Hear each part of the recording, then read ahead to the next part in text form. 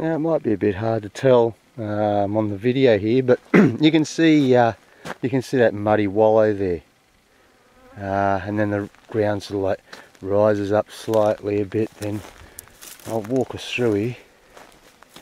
You can see it's quite muddy through here. It's they've gouged out right down to there, and she'll come back up. And you'll see a bit of wash just here on the surface. And you keep going, here comes another muddy wallow.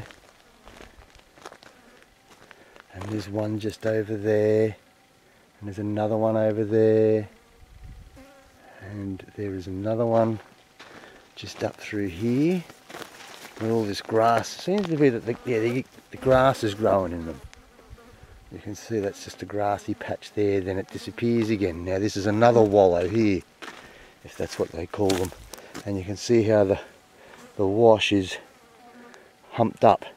So instead of the ground being flat, there's another one right there. And you can see all my dig marks everywhere through here.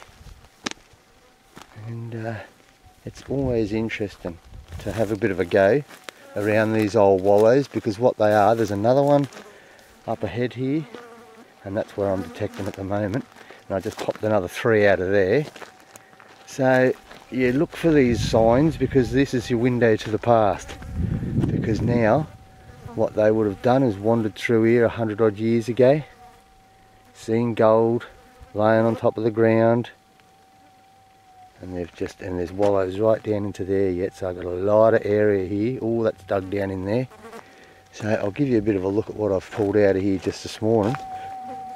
Maybe five, six grams there. It feels like that. A couple of decent, not, nothing too big. Biggest I've got out of here so far is 1.8 yesterday. But lots of little pieces. So it's the window to the past, like I say. Because nowadays there's not too much laying around on top to give it away. So you spot these things and uh, definitely check them out. There you go, a bit of useless information. Oh yeah, back to detecting.